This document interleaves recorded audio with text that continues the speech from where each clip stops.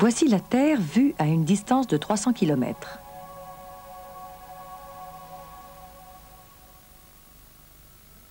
À cette altitude, on peut distinguer des figures dues à la main de l'homme.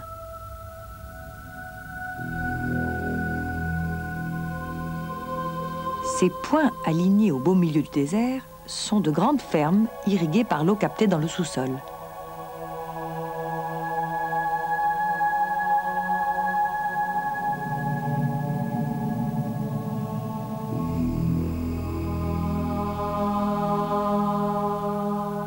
Ces champs de coton du Soudan sont irrigués par l'eau du Nil. Les rectangles verts sont des champs d'une longueur d'environ 3 km.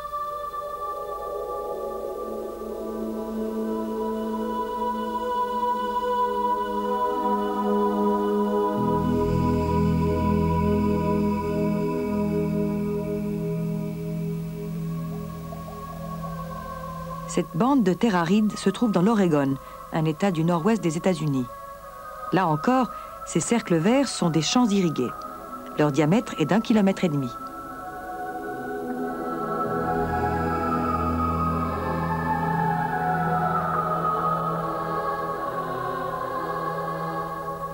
Autrefois, la jungle d'Amazonie était suffisamment dense pour empêcher toute pénétration humaine.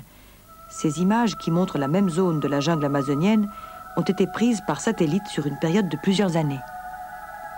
Elle montre clairement la déforestation croissante qui s'étend de part et d'autre des routes que l'on voit au milieu. L'exploitation permanente de la surface de la Terre par l'homme amène des changements parfaitement visibles depuis l'espace.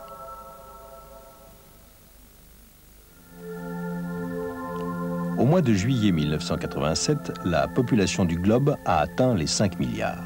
Cette explosion démographique ne peut qu'avoir des conséquences majeures pour notre planète.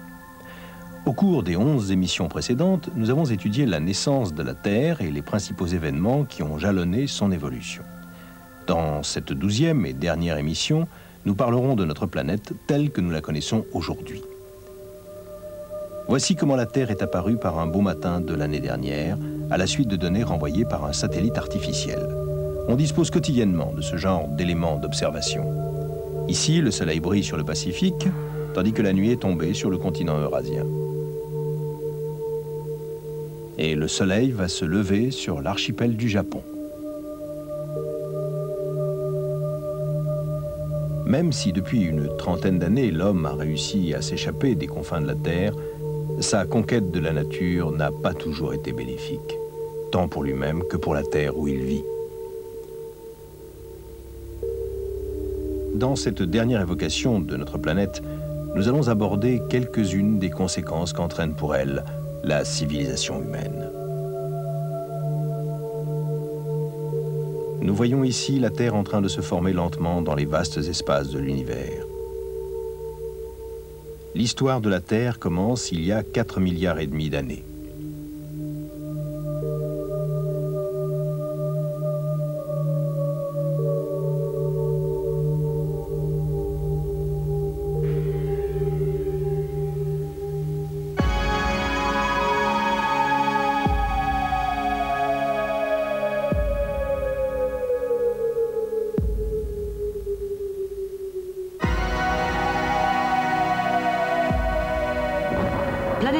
Météorites explosent au moment du choc avec la Terre.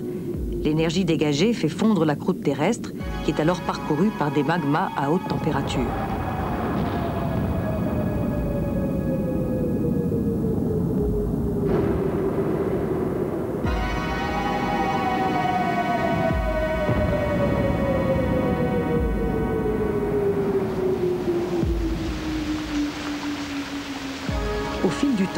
La Terre se refroidit et l'énorme quantité de vapeur contenue dans l'atmosphère se condense et donne de fortes pluies. Très vite, toute cette eau remplit les vallées pour former les mers qui recouvrent la surface du globe. C'est quelque part dans ces vastes océans et dans un passé très lointain que la vie a fait sa première apparition.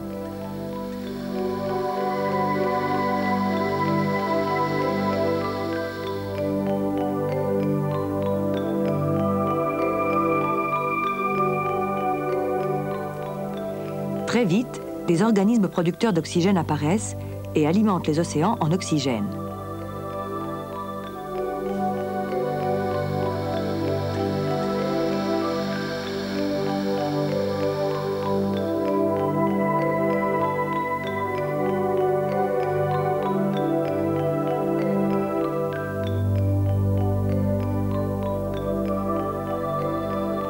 Dès lors que l'oxygène a été présent en quantité suffisante, l'évolution des créatures vivantes a progressé à grands pas.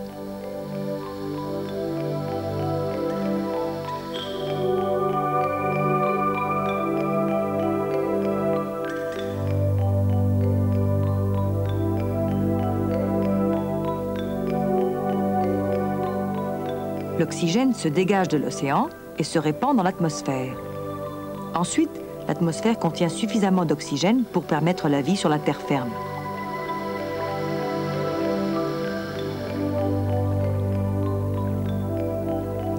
Un monde de végétation luxuriante et de créatures vivantes commence à s'étendre sur la Terre.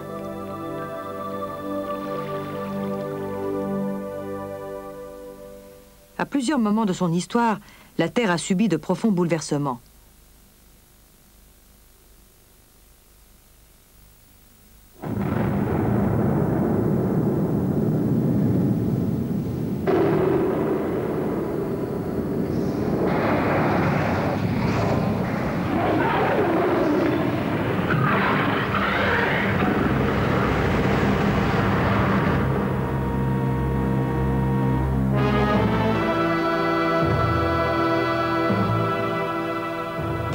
Météorites ont périodiquement heurté la Terre avec une prodigieuse force destructrice qui a fait disparaître de nombreuses espèces vivantes. Mais la vie a réussi à se maintenir.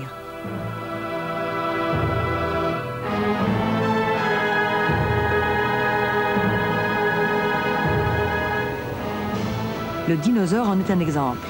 Les spécialistes émettent la théorie qu'il a été anéanti par le choc d'un planétoïde et remplacé par les mammifères au sang chaud des animaux qui résistent mieux au froid. Ayant eu à surmonter différentes périodes de l'histoire au cours desquelles de grandes étendues de la planète étaient recouvertes par des glaciers sur des milliers de mètres d'épaisseur, ces mammifères ont rapidement évolué. C'est alors que parmi ces mammifères a émergé une espèce totalement nouvelle d'animaux capables de penser.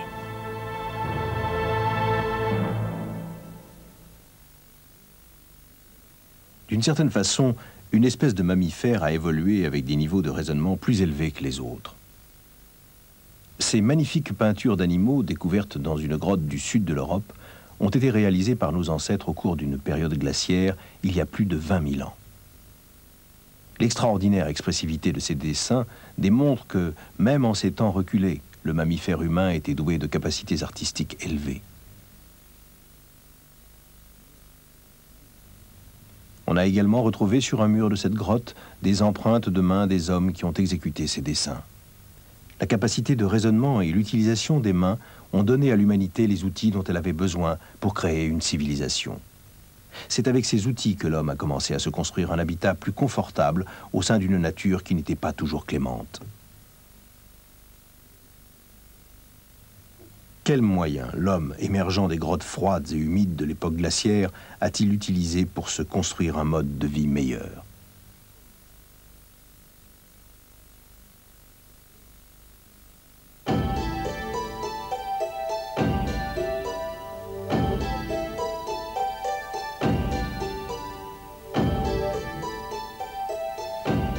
Zone aride se trouve en Israël.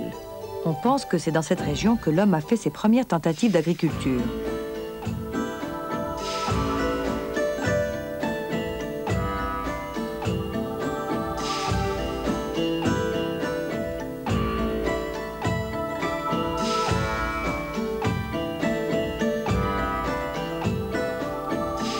Les vestiges enterrés d'un village vieux de 10 000 ans ont été découverts à cet endroit. Pour les gens de l'époque, ce village était ce que nous considérerions aujourd'hui comme un bourg, puisqu'il comptait environ 2000 âmes. De ces ruines, on a exhumé de nombreux outils agricoles.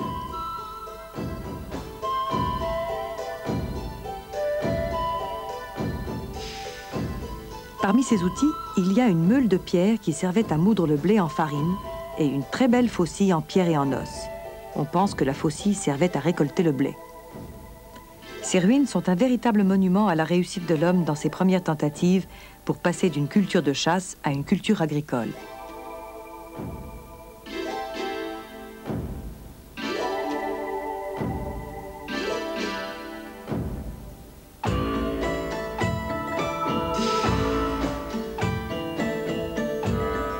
L'agriculture s'est peu à peu répandue du Moyen-Orient vers les contrées voisines.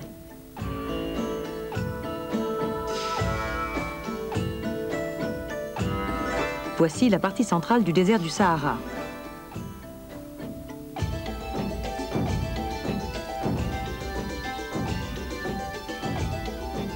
Dans cette région, on trouve également des traces très anciennes d'agriculture et d'élevage.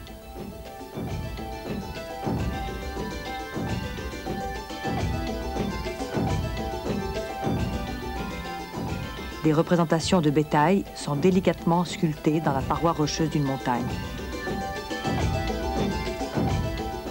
Des animaux sauvages sont également peints sur cette paroi. Voici un dessin grandeur nature d'une girafe. Les gens qui habitaient la région en ces temps reculés vivaient probablement dans un relatif confort, leur subsistance étant assurée par différents types de gibier et de végétation qui les entouraient. Toutefois, la florissante civilisation agricole du Sahara n'a pas duré très longtemps, car les sources ont commencé à se tarir et cette riche terre verte est devenue de plus en plus brune. C'est un bouleversement climatique à l'échelle du globe qui est à l'origine de ce phénomène.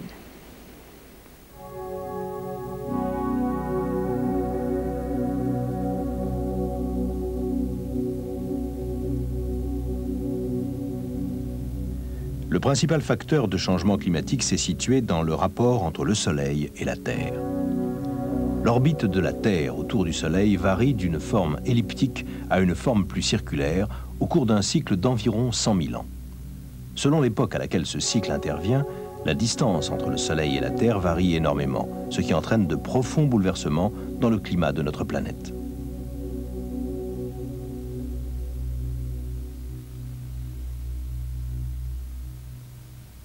Une autre grande cause de changement climatique se trouve dans l'inclinaison de l'axe de la Terre.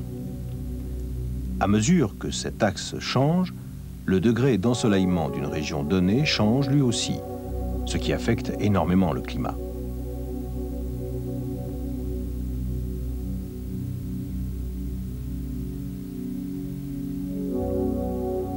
Plus l'axe de la Terre est incliné, plus la quantité de chaleur solaire reçue par l'hémisphère septentrional est grande.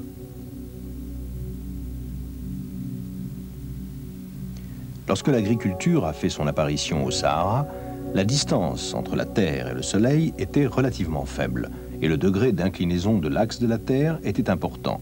De ce fait, l'hémisphère nord jouissait d'un climat plus doux qu'aujourd'hui et la région du Sahara était couverte de végétation.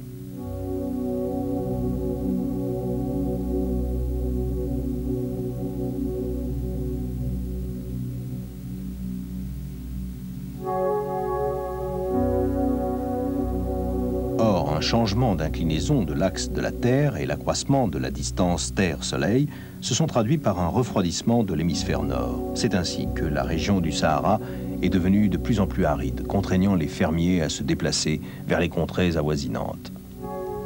Tandis que le Sahara devenait de plus en plus aride, le bassin du Nil conservait une abondante végétation qui attirait en grand nombre les peuplades du désert. C'est un changement climatique qui a poussé les habitants de la région vers les rives du Nil et a présidé à l'établissement d'une civilisation plus avancée.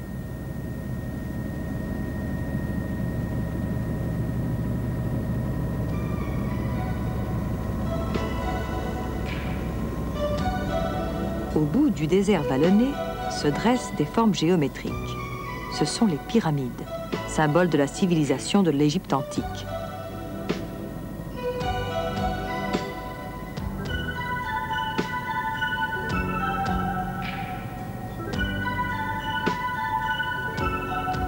La plus grande est haute de 146 mètres, pour une longueur de 230 mètres à la base. On dit que 100 000 ouvriers ont travaillé pendant 20 ans pour sa construction. Il s'agit de la plus grande construction de pierre jamais réalisée par l'homme.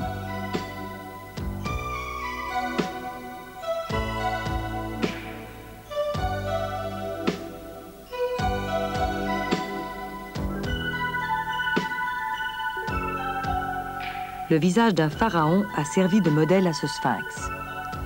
Ces ouvrages colossaux ont été construits il y a 4500 ans, ce qui coïncide avec l'époque où le Sahara devenait de plus en plus aride.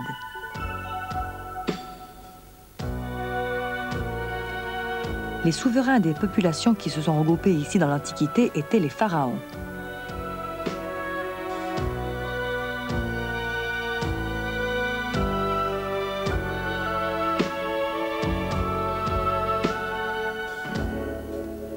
Les pharaons créèrent un puissant État agricole reposant sur la construction de canaux et d'installations d'irrigation en des points stratégiques.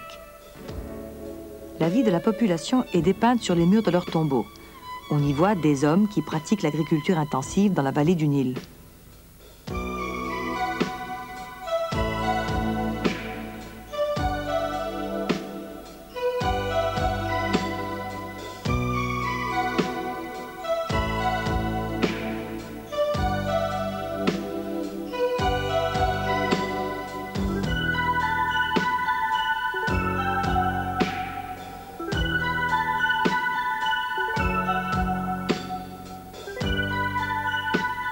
Florissante société rurale qui a fourni les bases de cette civilisation très avancée.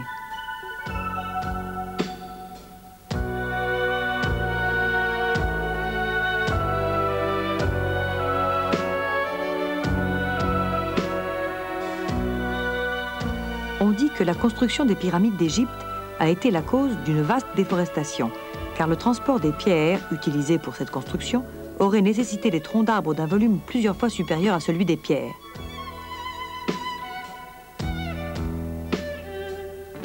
Pense que cette déforestation a contribué à la désertification du Sahara.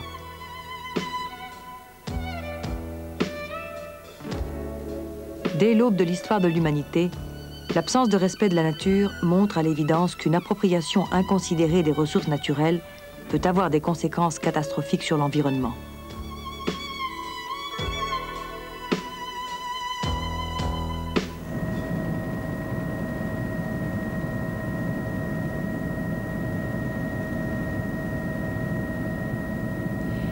La Méditerranée a toujours été un carrefour de civilisation. Elle a servi de cadre à différentes civilisations, dont la Grèce et la Rome antique.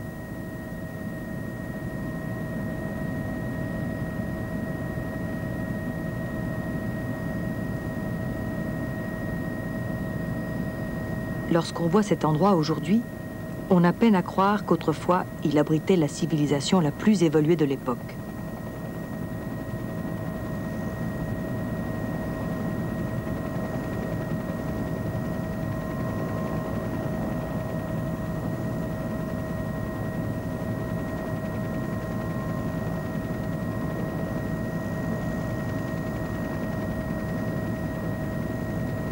Voici le temple de Poséidon, auquel sont attachés divers mythes et légendes.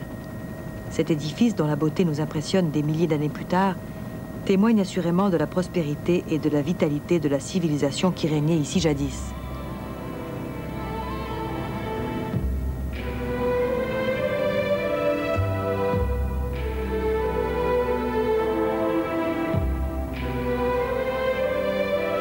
l'Antiquité, lorsque les Grecs puis les Romains régnaient sur ces vastes empires, Éphèse était un port de mer extrêmement actif.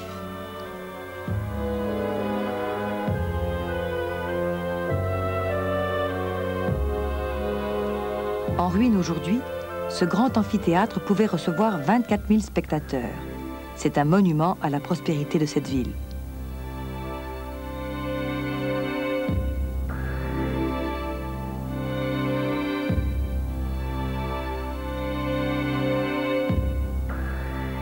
Ici, nous voyons les ruines d'une bibliothèque autrefois réputée et que fréquentaient de nombreux savants des villes du littoral de la mer Égée.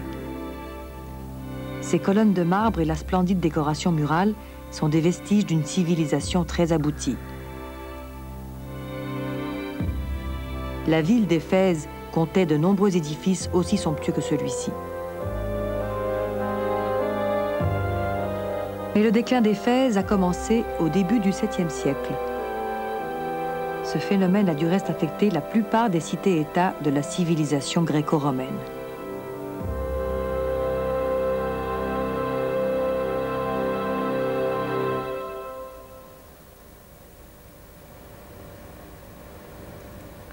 La raison de la décadence de ces civilisations anciennes est un énorme point d'interrogation dans l'histoire et fait aujourd'hui l'objet de nombreuses recherches.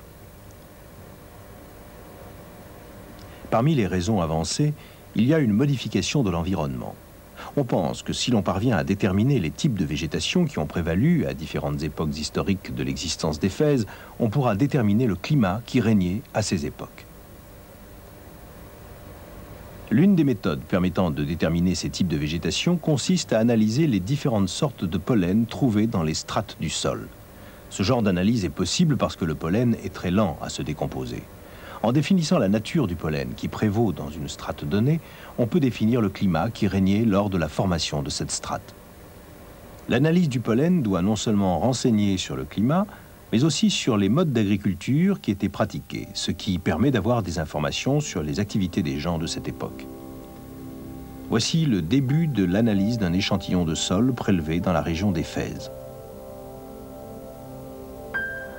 La plus grande quantité de pollen trouvée dans cette strate vieille de 2000 ans est du pollen de blé. C'est à peu près à cette époque qu'Éphèse était à l'apogée de sa prospérité.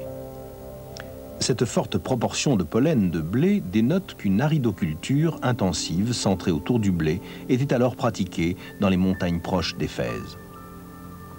Dans des strates plus anciennes, on trouve du pollen de plantain.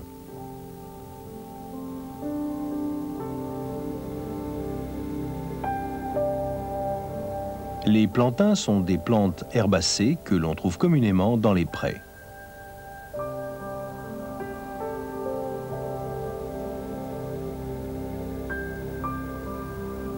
Au cours de cette période, l'une des principales activités consistait à faire paître les moutons et les chèvres.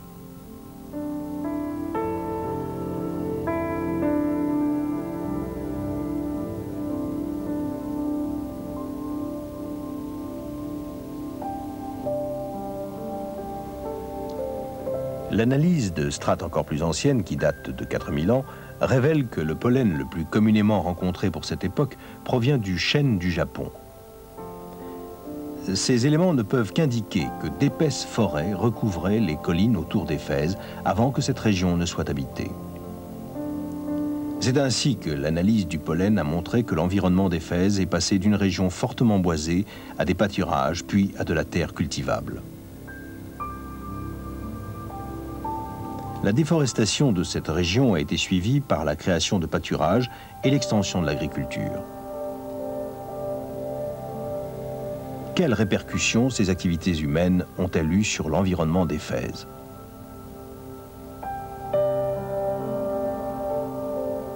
Les scientifiques ont une explication.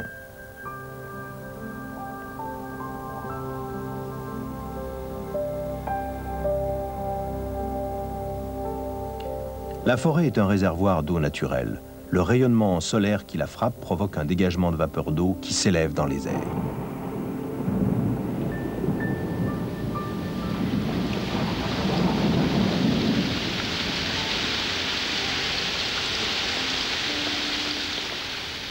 Condensée en nuages puis en pluie, cette eau revient sur le sol. Couvert de feuilles mortes et de terre végétale, le sol de la forêt stocke l'eau de pluie et ainsi le cycle peut recommencer la forêt joue un rôle essentiel dans la circulation de l'eau. En abattant les arbres des forêts, en créant des pâturages et en cultivant la terre, l'homme rompt ce cycle. La nature ne peut que réagir par des mutations radicales.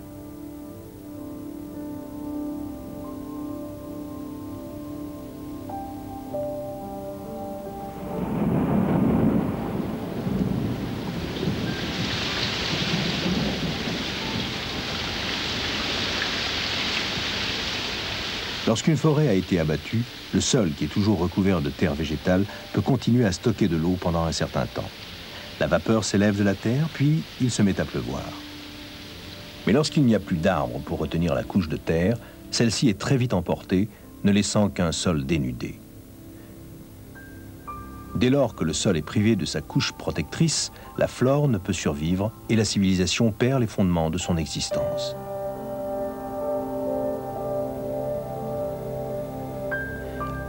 L'homme ne pouvait plus cultiver la terre à Éphèse, et son mauvais usage de la nature a entraîné le déclin du commerce de la cité. Voici une image du littoral avant que l'homme ne s'installe à Éphèse. Au fur et à mesure que les montagnes ont été dégarnies de leurs forêts protectrices, la couche de terre végétale a été emportée vers le port. Et plus cette terre était emportée vers la mer, plus le port s'est comblé. À l'époque de l'Empire romain, la population d'Éphèse a fortement augmenté, ce qui n'a fait qu'intensifier le massacre des montagnes environnantes. Il en est résulté une érosion plus rapide du sol et le flot de terre et de sable amené dans la baie a obligé les navires à charger et décharger de plus en plus loin de la ville.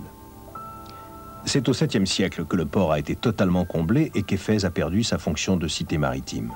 La population a alors abandonné la ville qui est peu à peu tombée en ruine.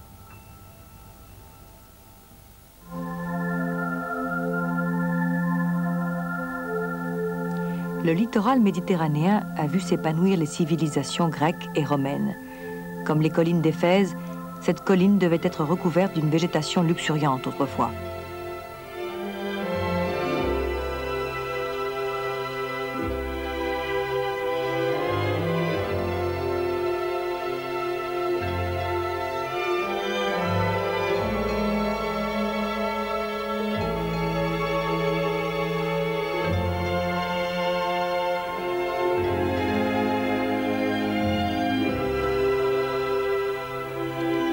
La chute d'Éphèse illustre ce qui est arrivé à maintes autres cités prospères qui étaient situées sur les rives de la Méditerranée, telles Athènes, Sparte, Carthage et Rome.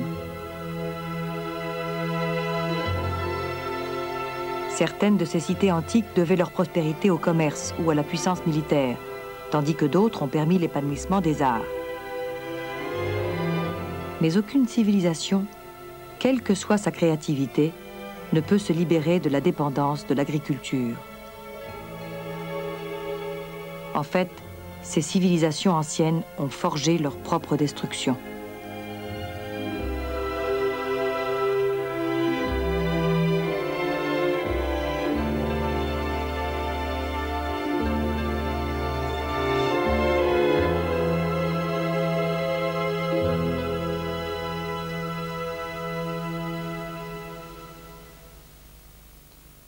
Ayant dévasté le sol des régions côtières de la Méditerranée, la civilisation est remontée vers le nord, en quête d'un nouveau cadre. Le berceau de cette nouvelle civilisation a été la grande forêt d'Europe qui s'étend au nord des Alpes.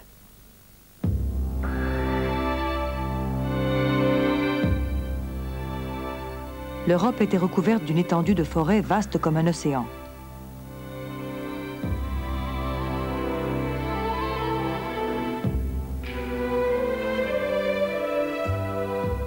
Elle possédait un épais couvert de forêts de hêtres, de chênes du Japon et d'épicéas. Dans ces forêts, différentes formes de cultures qui avaient fleuri dans les régions méditerranéennes sont venues puiser leur substance. Parmi ces cultures, il y eut le christianisme. D'abord, on construit une petite église. Ensuite, on élague la forêt en clairière pour l'agriculture et l'élevage.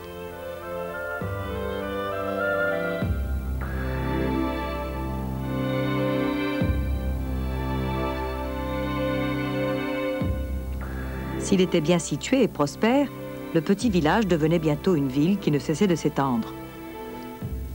En Europe, au Moyen Âge, il y a un millier d'années, le déboisement a commencé à grande échelle.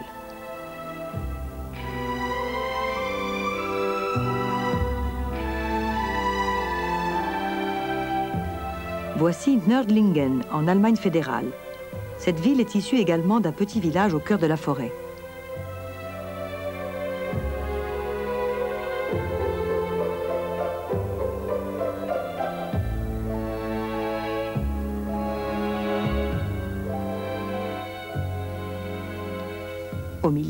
La classique église entourée de maisons.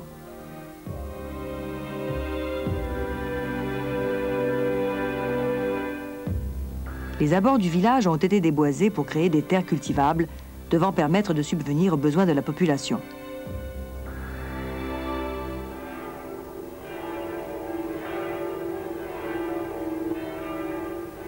Voici la cathédrale Notre-Dame qui surplombe la Seine. Il y a 800 ans, Paris était aussi un petit village, au milieu duquel il y avait une église.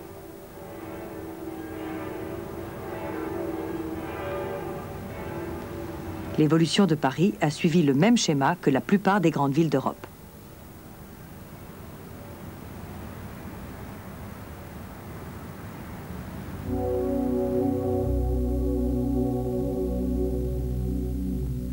Voici une photo du Paris actuel prise par le satellite d'observation terrestre Landsat. La partie rougeâtre, qui s'étend de part et d'autre des boucles de la Seine, représente l'agglomération urbaine de Paris. La partie vert foncé indique la zone boisée dont il ne reste plus grand-chose aujourd'hui. Cette photo montre l'énorme déboisement qui a eu lieu lorsque la France a déblayé du terrain pour faire face à l'accroissement de sa population.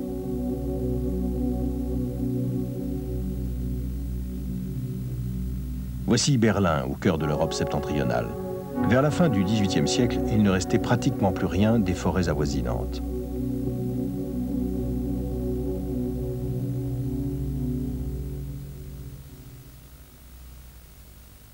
La partie verte que l'on voit aux abords de la ville est une zone de reboisement dans laquelle on a tenté de compenser la déforestation du passé.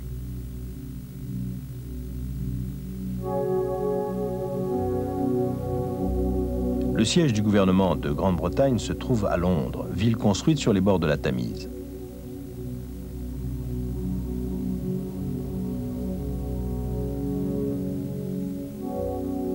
Jadis couverte d'immenses forêts, la Grande-Bretagne n'a plus que 9% de sa superficie totale qui soit boisée.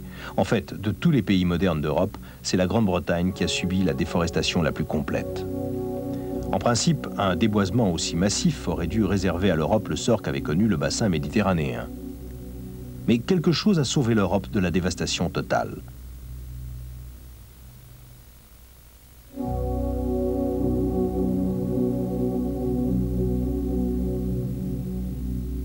Et ce quelque chose, c'était le nouveau continent américain.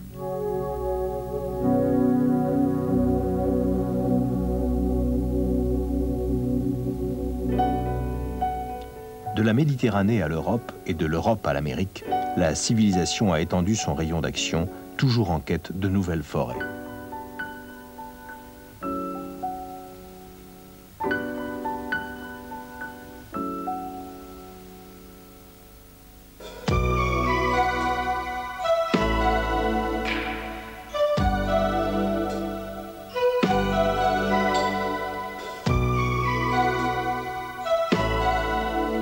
Les immigrants ont emporté avec eux un peu de leur vieille Europe. Ils ont appelé leur nouvelle ville du nom de celle qu'ils avaient quittée, New York ou New London. C'est ainsi que de nouvelles petites Europes ont été créées tout au long de la côte est de la Nouvelle-Angleterre. Le dernier des nouveaux mondes, l'Amérique. Au cours de l'installation des colons en Amérique du Nord, ont été jetées les bases de la civilisation moderne que nous connaissons. De même qu'en Grèce, à Rome et dans d'autres États d'Europe, les forêts et la végétation ont joué un rôle vital pour permettre à l'Amérique de devenir la puissante nation qu'elle est aujourd'hui.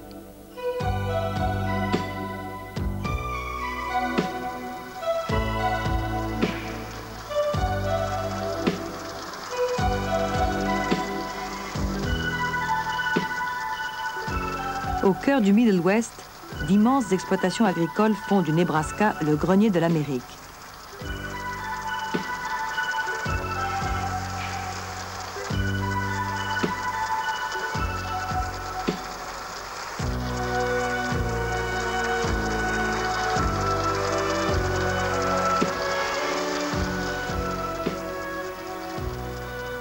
Système d'arrosage fait 750 mètres de long. C'est grâce à l'utilisation d'énormes machines et d'engrais chimiques qu'il a été possible de pratiquer l'agriculture sur une échelle jamais vue jusque-là. L'homme a pu obtenir d'abondantes récoltes en ajoutant la puissance industrielle à la productivité naturelle du sol. Le fondement sur lequel repose cette puissance industrielle, c'est le pétrole. Le sol très fertile du Nouveau Monde n'a pas été seul à permettre l'éclosion de la civilisation américaine. L'Amérique possède d'abondantes ressources énergétiques naturelles, dont le pétrole. Grâce au pétrole, les États-Unis ont créé l'une des civilisations technologiques les plus élaborées de l'histoire de l'humanité.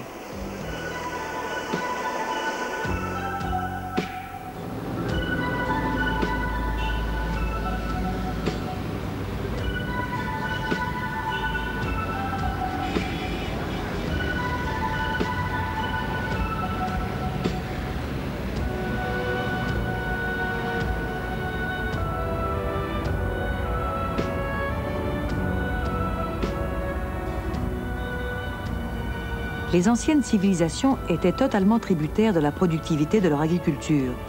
Et la destruction de cette agriculture sonnait le glas de la civilisation. En revanche, la civilisation moderne a réussi à survivre grâce à la consommation d'énormes quantités de combustibles fossiles.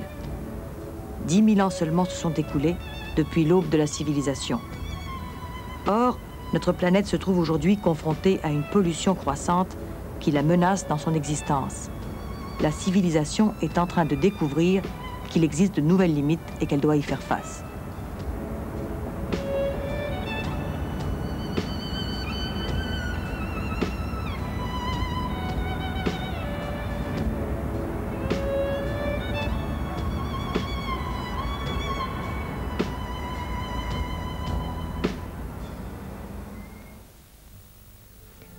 Voici une photo de la région des Grands Lacs au nord des États-Unis la nuit.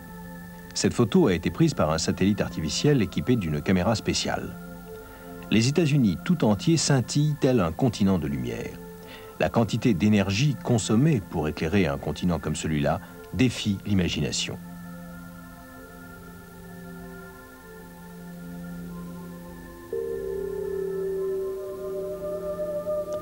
Cette photo montre les lumières utilisées par les bateaux de pêche japonais pour attraper des sèches. Les villes et les bourgs qui s'égrènent le long de l'archipel du Japon bordent le littoral d'un filet de lumière. On dit que les habitants des pays industrialisés consomment autant d'énergie en une journée qu'une personne en consommait en une année il y a mille ans.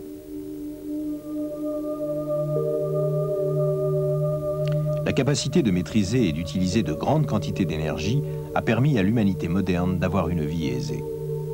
Mais ce même schéma de consommation a permis la propagation aux quatre coins du globe de l'exploitation irraisonnée de la nature par l'homme. Il y a seulement un siècle, le monde paraissait étendre ses limites à l'infini. Mais aujourd'hui, rétrécis par la technologie, les océans peuvent être franchis en l'espace de quelques heures et des communications peuvent être établies instantanément avec l'endroit le plus reculé de la planète.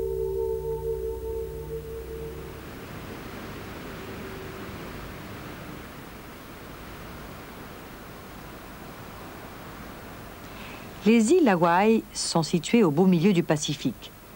Eh bien, malgré l'éloignement de toute zone industrielle, l'air qui flotte au-dessus de ces îles isolées commence à être victime de la pollution mondiale. Les scientifiques surveillent de plus près l'augmentation du taux de gaz carbonique dans l'atmosphère. Produit par la combustion des combustibles fossiles, le gaz carbonique menace d'altérer fortement l'environnement de la Terre. On pense que l'augmentation du taux de gaz carbonique risque d'entraîner un accroissement de la température moyenne par suite d'un phénomène appelé effet de serre. Voici l'observatoire du Mauna Loa. Commencé en 1958, les observations confirment que le taux de gaz carbonique dans l'atmosphère n'ont cessé d'augmenter depuis.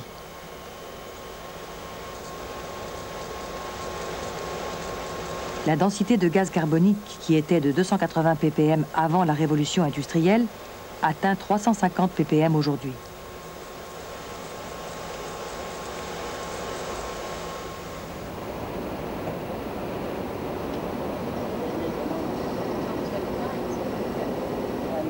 Quelles en sont les répercussions sur notre planète?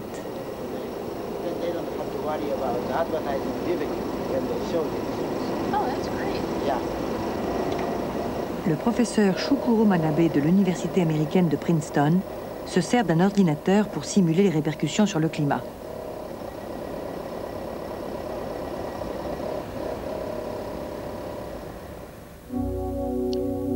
Professeur prévoit que la densité de gaz carbonique atteindra 600 ppm vers le milieu du 21e siècle, ce qui se traduira par une augmentation moyenne de la température de l'atmosphère terrestre de 3 degrés. Les conséquences de cette augmentation seront catastrophiques pour le continent nord-américain. L'augmentation des températures ambiantes entraînera une évaporation plus forte de l'intérieur du sous-sol. Les grandes exploitations agricoles du cœur des États-Unis seront les plus fortement touchées par cet assèchement accru.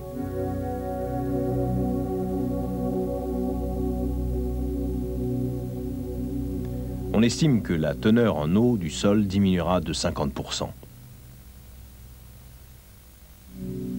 Bien sûr, ces conséquences désastreuses ne seront pas limitées à l'Amérique du Nord. À l'exception de l'Inde et du sud-est asiatique, de nombreuses régions de l'hémisphère nord connaîtront un assèchement analogue. Les greniers de Chine, d'Union soviétique et d'Europe en souffriront. D'après les prévisions, les principaux greniers du monde subiront une baisse de production de 20%.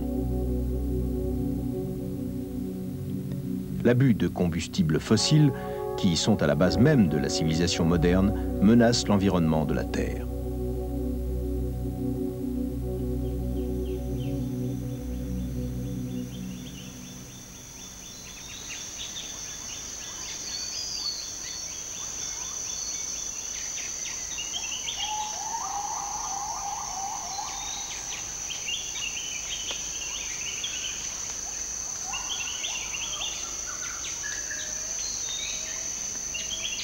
Depuis la naissance de la Terre, il y a 4 milliards et demi d'années, l'évolution normale de la nature a peuplé la mer et la terre avec la faune et la flore.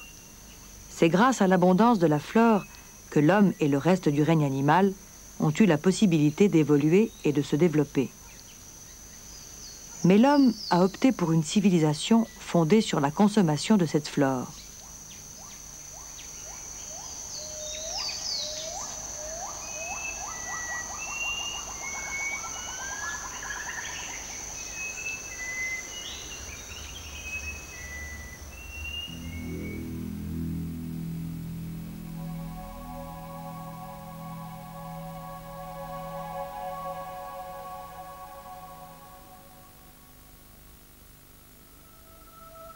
Dans le désert aride du sud-ouest des États-Unis se trouve une petite ville dont les installations font appel à la technologie offerte par la civilisation moderne.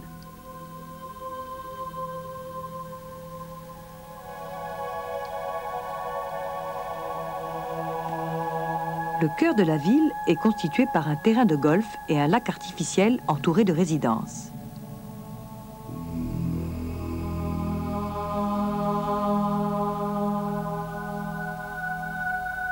Pour vivre confortablement dans cette région très sèche, il faut consommer d'énormes quantités de combustibles fossiles. Cette ville est la représentation d'une humanité qui a perdu son patrimoine hérité de la forêt.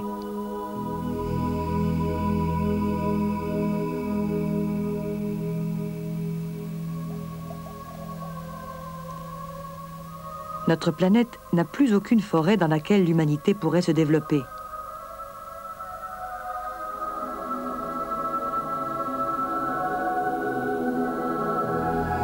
La seule frontière que l'homme puisse encore explorer, c'est celle de l'espace.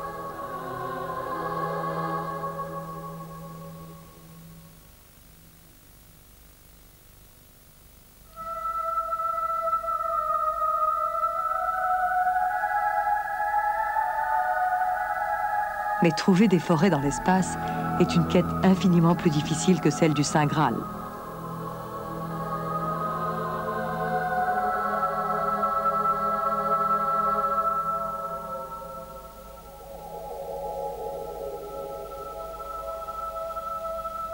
Avec son environnement extrêmement hostile, l'espace n'a ni atmosphère ni eau. La création d'une nouvelle forêt dans l'espace ne sera guère facile.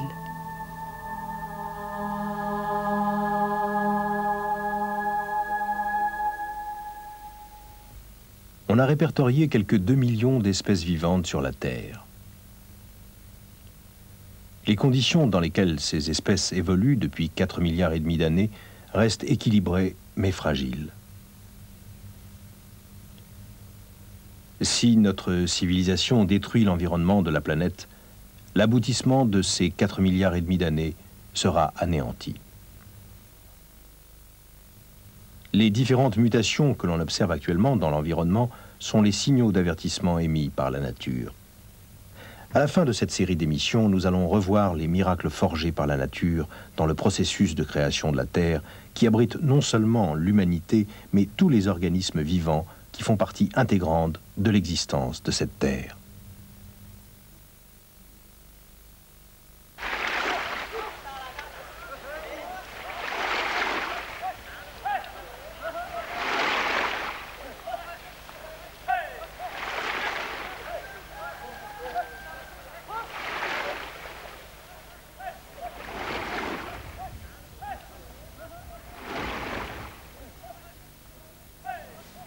Nous revoici à Guilin, en Chine. Ce paysage témoigne du pouvoir qu'ont les organismes vivants pour transformer l'environnement terrestre.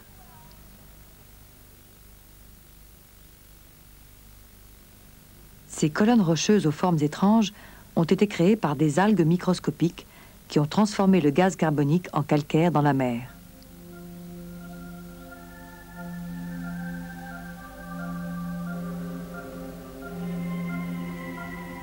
Voici la mer du récif corallien de la Grande Barrière en Australie.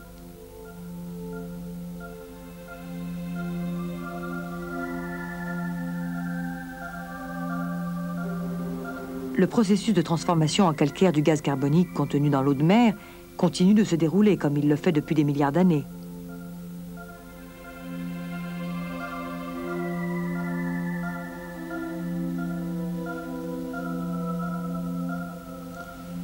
Ces organismes vivants maintiennent aux niveaux appropriés la quantité de gaz carbonique contenue dans l'atmosphère terrestre.